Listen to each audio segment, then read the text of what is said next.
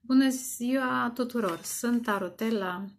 Vin în fața voastră cu un scurt uh, video, foarte scurt, în care îmi doresc să vă transmit uh, sărbători fericite, la mulți ani. Un Paște în pace, în uh, înțelegere, în înțelepciune, pentru că vin vremuri grele și ce facem fără înțelepciune. Eventual, vorbind acum cu dumneavoastră și urându-vă tot binele pe care mi-l doresc și mie, evident, mi-am adus aminte de parabola fecioarelor. Poate că ar fi bine pentru cei care chiar vă faceți timp cât de puțin să citiți din Biblie, să recitiți parabola fecioarelor, ca să vă reaprindeți flacăra.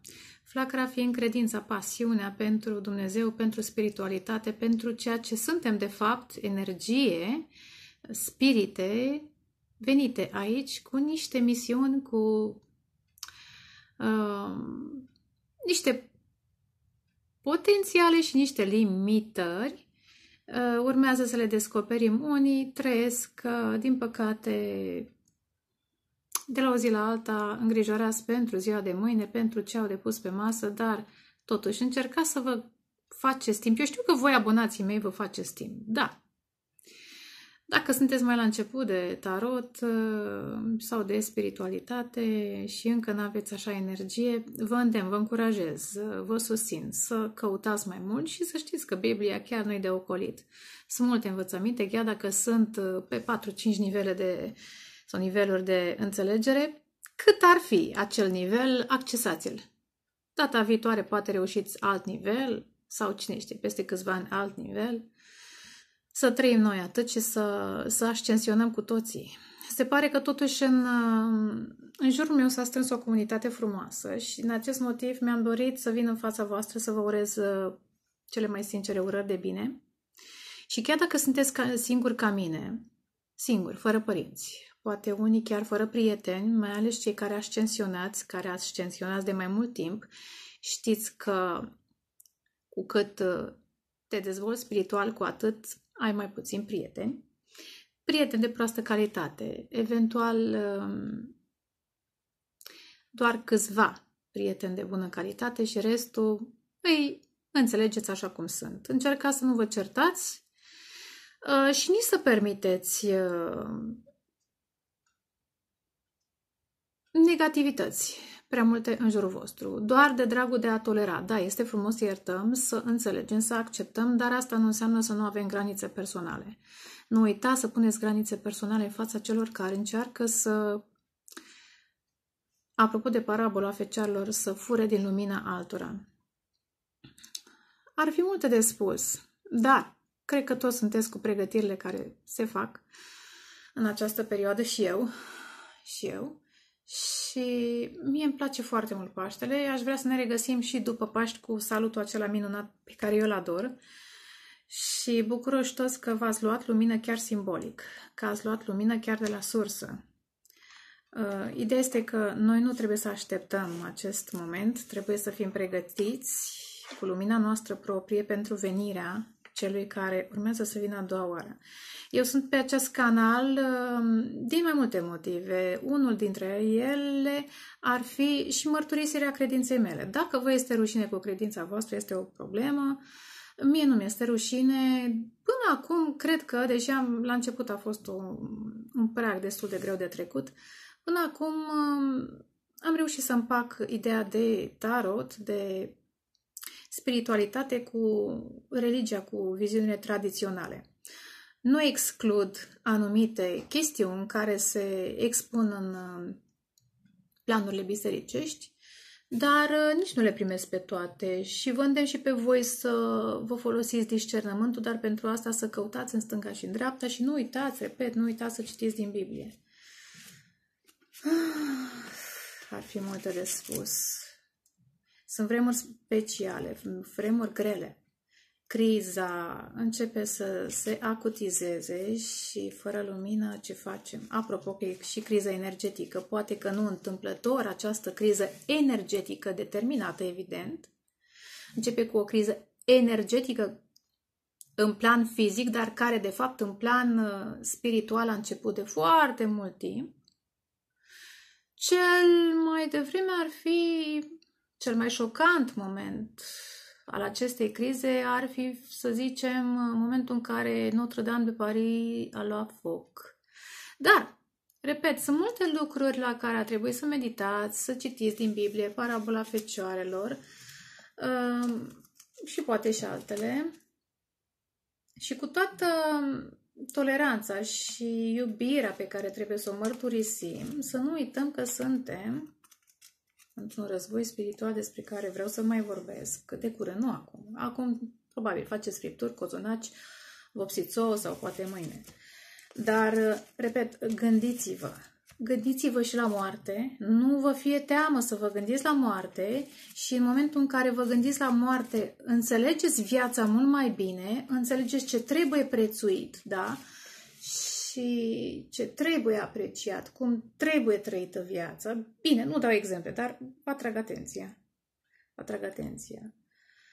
Să nu vă fie frică să vă gândiți la subiecte mai intense, mai grele, dar care sunt reale.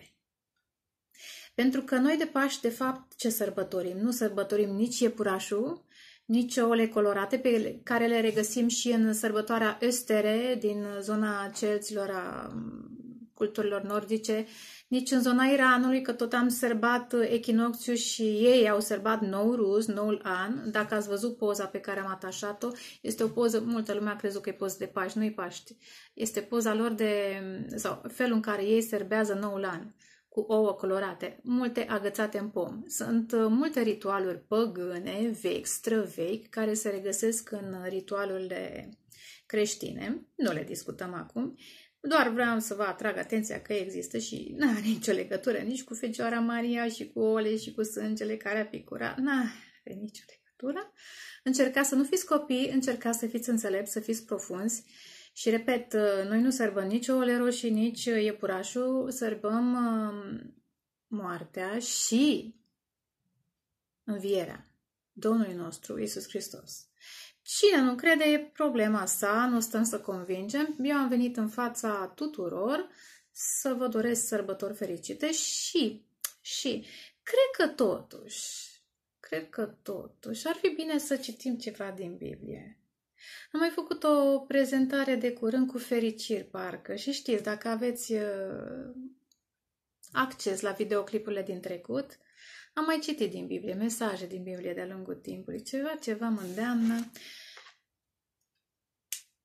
N-aș citi psalmi. Psalmii uneori sunt foarte agresivi și nu-mi place să promovez prin câte suferință am trecut și eu și tot n-am promovat atâta agresivitate cum mă regăsesc în psalmi. Și sunt convinsă că psalmistul n-a trecut chiar prin ce am trecut nici eu, nici unii dintre voi. Dar, în fine, mai pătimași uneori. Hai să încercăm Vreți niște proverbe? Hai să încercăm niște proverbe, da? Și îmi dați voi să citesc uh, și să-mi pun ochelarii, da? Și totuși e mic scrisul chiar și cu ochelari. Să încercăm pe zodii, ce ziceți? Puneți voi timpii? Hai să vedem. Zodia berbecului? Hai, zodia berbecului te aici mi-a picat. Privirea. Fiul meu, dacă vei primi cuvintele mele și vei păstra cu tine învățăturile mele, dacă vei lua aminte la înțelepciune și dacă îți vei pleca inima la pricepere, dacă vei cere înțelepciune și dacă te vei ruga pentru pricepere, dacă o vei căuta ca argintul și vei umbla după ea ca după o comoară ascunsă, atunci vei înțelege frica de Domnul și vei găsi cunoștința lui Dumnezeu, căci Domnul dă înțelepciune din gura lui iese cunoștință și pricepere. El dă adevărata înțelepciune celor drepți. El este un scud celor ce umblă cu dreptate. Ocrotește cărările, judecățile drepte, păzind calea sfinților lui. Atunci vei deosebi bine dreptatea, judecata dreaptă, nepărtinirea, orice cale bună, căci înțelepciunea va veni în inima ta. Este un proverb, la proverb l-am găsit, cam lung. În fine, este al doilea. Înțelepciunea se scapă de rău? Da. cu toți ochelarii pe care am, tot mic este scrisul. Căutați proverbe, al doilea proverb. Hai să vedem. Tauraș. Tauraș. Tauraș. Hmm. Dacă e prea lung, îl continuați voi. Ia să vedem. Tauri.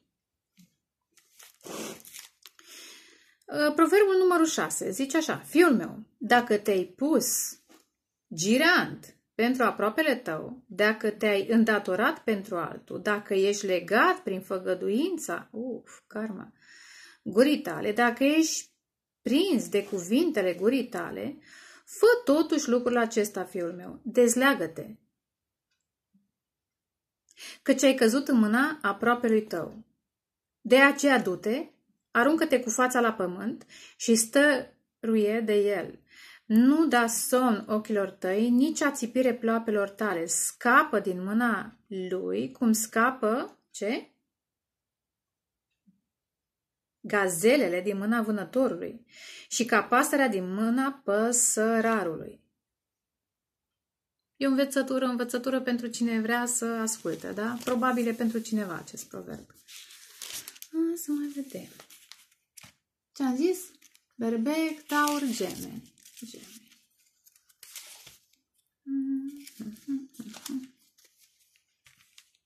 Ia să vedem. 23. Dacă stai la masă la unul din cei mari, ia seama bine ce ai dinainte. Puneți hm. Puneți un cuțit în gât dacă ești prea lacom. Nu poftim mâncărurile alese că sunt o hrană șelătoare, nu te chinui ca să te îmbogățești, nu spune priceperea în aceasta. Abia ți-a aruncat ochii spre ea și nu mai este, căci bogăția își face aripi, ca vultul care și-a zborul spre ceruri. Nu mânca pâinea celor ce... sau celui ce are ochiul rău.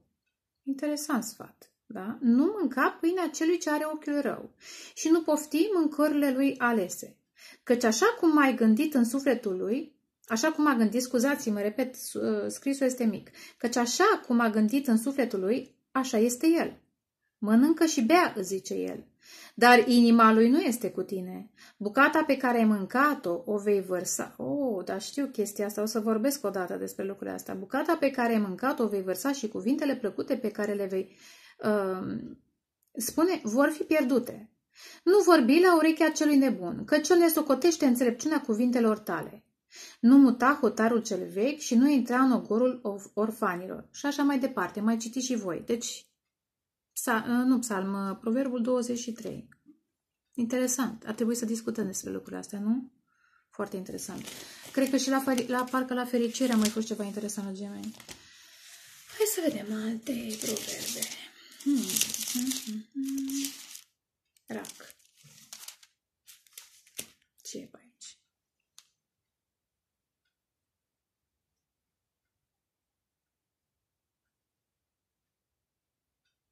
Uh, privirea s-a lăsat la jumătatea unui proverb, proverbul numărul 15. Puteți să-l ascultați, să-l citiți de la început, dar eu încep de unde am fost ghidată. Locuința morților și adâncul sunt cunoscute Domnului, cu cât mai multe inimile fiilor oamenilor. Cu cât mai mult inimile fiilor oamenilor, scuzați-mă. Bagiocoritorului nu-i place de cel ce-l mustră, de aceea nu se duce la cei înțelepți. Hm. Fiți atenți. Interesant. O inimă veselă înseninează fața, dar când inima este tristă, Duhul este zdrobit. Inima celor pricepuți caută cunoștința, dar gura, gura nesocotiților se hrănește din nebunie. Toate zilele celui nenorocit sunt rele, dar cel cu inima mulțumită are un ospăț necurmat. Hm. Mai bine puțin cu frică de Domnul, decât o mare bogăție cu tulburare. Baby, is for you. Uh, probabil că anumite persoane au de meditat. Vă rog, citiți de la început uh, proverbul numărul 15, dacă vă face plăcere, pentru că, într-adevăr, este interesant. Bine, sunt mai multe proverbe într-un... Nu le pot separa. parcă au legătură, curg unul din celălalt. Dar așa este. În fine. O să vedem zodia. Cât aș pune ochelarii, scrisul tot mic este. Sau poate trebuie să-mi schimb ochelarii, e trist, dar vedem. Zodia leului. Ia să vedem. Sper să nu repet uh, aceleași proverbe. Dar dacă se întâmplă, se întâmplă. 17. Oh, Doamne, exact parcă ar fi pentru mine. Zice așa. Mai bine o bucată de pâine uscată, cu pace, decât o casă plină de cărnuri, cu ceartă. Un servitor înțelept stăpânește peste fiul care face rușine și va avea parte de moștenire printre frați. Deci proverbul numărul 17. Tigaia, eu așa văd, lămurește argintul și cuptorul lămurește aurul, dar cel care încearcă inimile este Domnul. Cel care face rău ascultă cu luarea minte la buza nelegiuită și mincinosul pleacă urechea la limbile, limba nimicitoare. Cine își bate joc de sărac, își bate joc de cel ce l-a făcut. Mai, Cine se bucură de o nenorocire nu va fi socotit nevinovat. Mai continua și voi, vă rog frumos. Îmi pare foarte rău cu ochelari și de-abia, de-abia văd, pentru că e scrisul foarte mic, asta e. O îmbătrâni sau poate sunt alte chestiuni, probabil că trebuie să rezolv. Cine știe. Eu am de fapt astigmatism, dar uh, avansează și la probabil. În fine, hai să vedem, l-am citit leu, Zodia Fecioare, un proverb.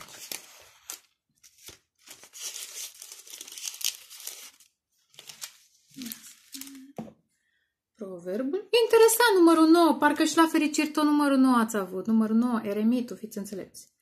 Zice așa. Înțelepciunea și nebunia. Nu, bă da. Înțelepciunea și nebunia. Înțelepciunea și-a zidit casă, și-a cioplit cei șapte stâlpi, și-a înjunghiat vitele, că așa era obiceiul, și-a amestecat uh, vinul și-a pus masa, și-a trimis slujitorii, uh, pardon, și-a trimis slujnicele și strigă de pe vârful înălțimilor cetății. Probabil că era un ritual. Așa. Cine este prost, să vină încoace. Celor lipsiți de pricepere le zice, veniți de mâncați din pâinea mea și beți din vinul pe care l-am amestecat. Părăsiți prostia și veți trăi și umbleți, umblați, pardon, umblați pe calea priceperii. Uh, vă rog, mai citiți și voi, dar e foarte interesant. Înțelepciunea cheamă la masă pe cei proști, pe cei lipsiți de înțelepciune, pe cei lipsiți de discernământ. E interesant. Vă rog, puneți-vă ochelarii voștri, citiți pe ce poate citiți pe internet și puteți să dați zoom și să măriți. Din păcate, repet, cu ochelari și tot, de-abia văd scrisul, dar e foarte interesant. Zodia Fecioare, numărul 9. Hai să vedem în continuare unde am la balanță. Balanță, balanță, balanță. Mă ajutați voi să pun timpii, da? Ia să vedem. 19. Capitolul sau... Pro, nu, e, nu e proverb, nu știu, e capitolul 19. Spune așa. Mai mult prețuiește săracul care umblă în integritatea lui decât cel viclean cu buzele viclean cu buzele și care este un prost. Lipsa cunoștinței este o pagubă pentru suflet. Și cine aleargă neghiobește înainte, face pași greșiți. Nebunia omului îi sucește calea și inima lui se ridică împotriva Domnului. Fiți atenți! Bogăția aduce un mare număr de prieteni, dar săracul este despărțit de prietenul lui. Martorul mincinos, apropo de judecată, martor, vedeți, nu va rămâne nepedepsit și cel ce spune minciuni nu va scăpa și așa mai departe. Citiți și voi numărul 19, că e foarte interesant, ca să nu mă chinui eu cu ochelarii, cu așa. Oricum, sper să primiți mesajele cum se cuvine. Uh, scorpion. Da, scorpion. Dragii mei, scorpionași. Nu știu câțiva alintă așa scorpionași, că în general scorpionii nu prea sunt alentați. Lumea se sperie de voi. Ia. Ah, interesant, 23 ca la gemeni, dar nu. Puteți să citiți ca la gemeni, dar um, hai să, am zis că nu vreau să... gemeni, leu,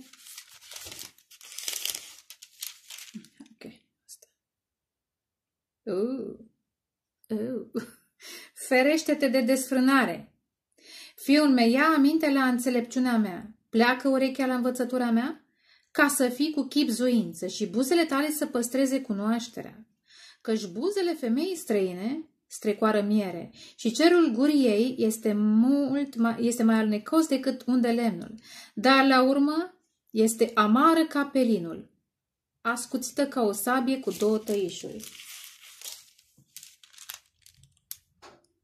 și are o față obraznică. Ea a zis, am cu mine jerfe de mulțumire, azi mi-am uh, împlinit promisiune, de aceea ți-am ieșit în cale să-ți caut fața și te-am găsit. M-am, uh, mi-am împodobit patul cu învelitor, cu așternuturi, pânzeturi colorate din Egipt, la la la la la la. Deci o invitație a unei doamne singure. Mare grijă, da? Numărul 5 puteți să ascultați și voi. Ce păcat, ce păcat că plouă și ce mă enervează că e vremea asta, în perioada Paștelui. Scorpion, mm-hmm. săgetători. Săgetători. Mai tot în pică săgetător 23 iar. Am mai fost la gemeni. Ah, ok. 25.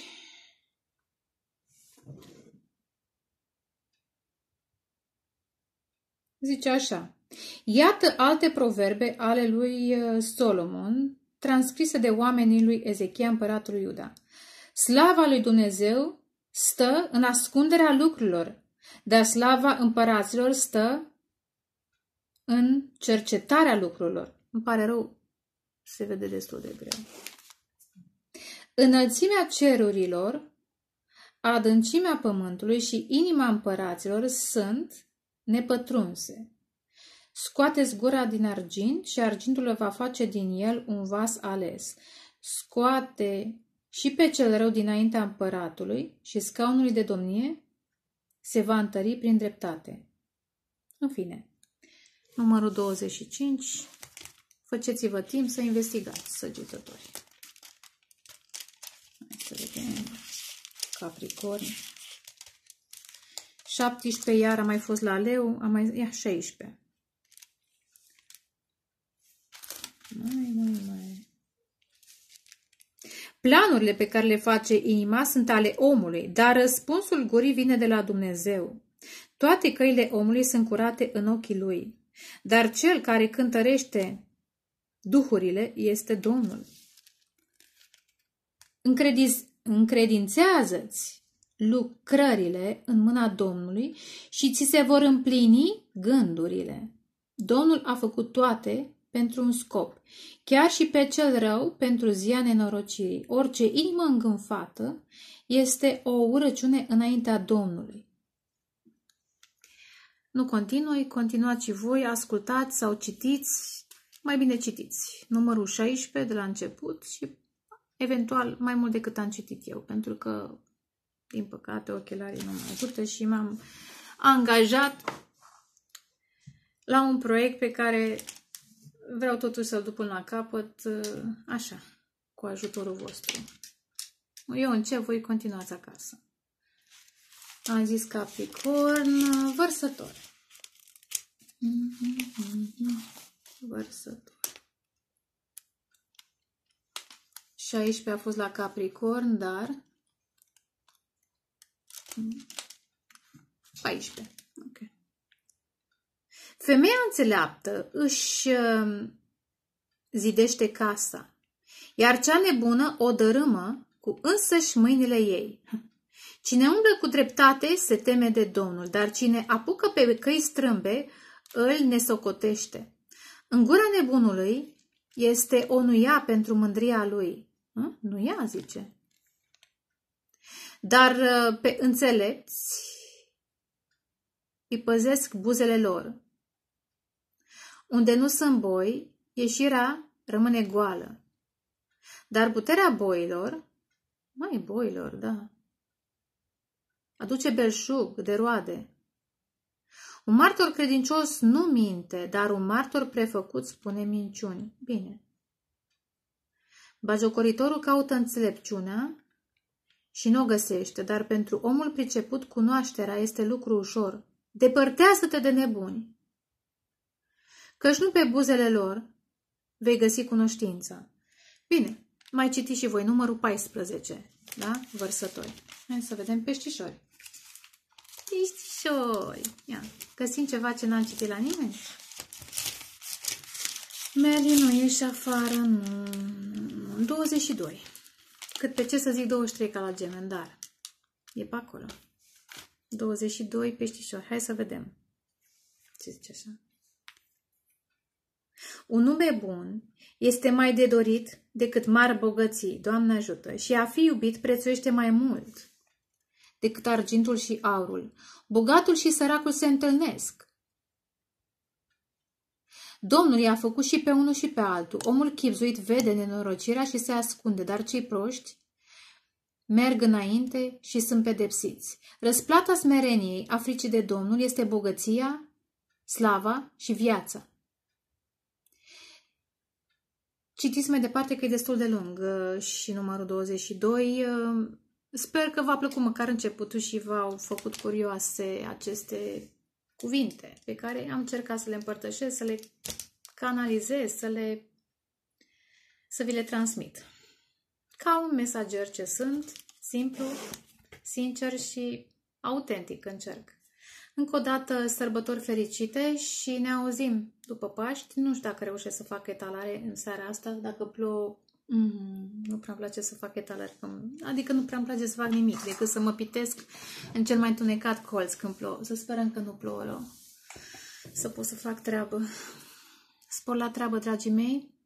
Bucurați-vă de aceste clipe. Că sunteți singuri, că sunteți cu familia, că sunteți cu prietenii, bucurați-vă de acest mesaj moarte și renaștere și înviere, dar nu oricum, în credință în Domnul și în lumină. Pace, soare în suflet și numai bine. La revedere!